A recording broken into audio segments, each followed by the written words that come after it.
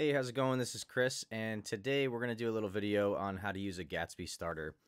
So with Gatsby and the Gatsby CLI, you could, and I'm in VS Code, you could in your in your terminal just type in Gatsby new my project and then hit enter, and this would spin you up a brand new Gatsby project with uh, the default starter. So this will give you some boilerplate like the Gatsby files, you know, Gatsby browser and config, etc um, and some of the other basics.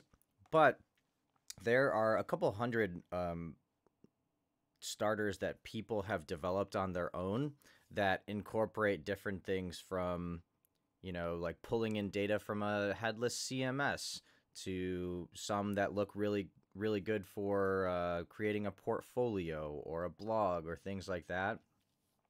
And if you're either maybe in a time crunch um, or maybe you don't feel super confident in your design skills, whatever it may be, uh, there are lots of starters that, that can help you out with getting a Gatsby project up and running without um, some of the heavy lifting that might be required from um, using the default starter.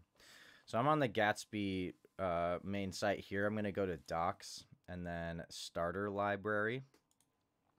And from here, you can see all of these different starters.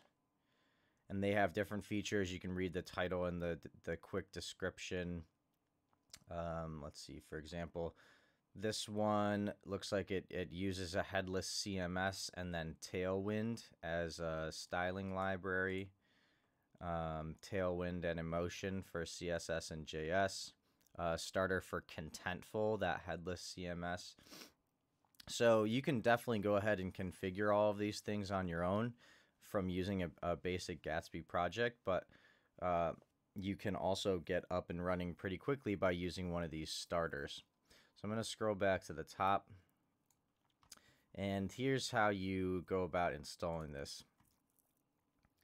Uh, it's going to give you the directions here. Before we do, you can take a look at the all the different features and then actually gives you the uh, the dependencies that are um, are prepackaged with this starter, which is pretty nice and convenient. And if you want, also, you can follow this link to the GitHub repo, and you can actually check out the source code, which is helpful too. uh, especially you know before you're installing it, just to kind of take a look and and get a feel for what um, what the internals look like. So I already have this typed out, Gatsby new my project. All I need to do is now grab this URL and copy it. And then I paste that at the end. And now instead of using the Gatsby default starter, we're going to use this ghost starter. Now it looks like I have one called my project already. So we'll call it uh, my ghost.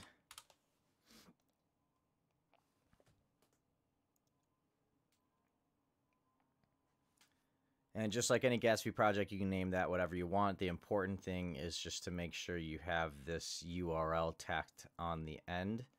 That's why I didn't just, um, or a re the reason I didn't copy this whole thing is um, so that I could show you how to name this. If you don't, you don't have to call it Gatsby Starter Try Ghost. You can call it whatever you want, but this is going to be the name of your project. And so see how I had my ghost, if I up arrow Gatsby new is for everything. My ghost is what I called it. I could call this whatever I want. And then the URL. So now if I follow those directions, cd my ghost. And then Gatsby. Actually, I'm going to code dot into it. That's my shortcut with VS Code to open a new window. And now you can see we've got all of these uh, pre-configured files. Let's see, ghost.json. We've got, so this is going to set you up uh, with where you're putting the API keys for this CMS. Um, let's take a look. Let's go ahead and uh, see what Gatsby Develop gets us.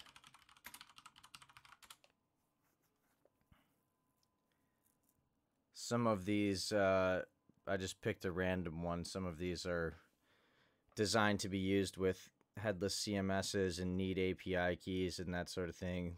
it's looking good so far. So you can see it built out some folders for us on Gatsby Develop.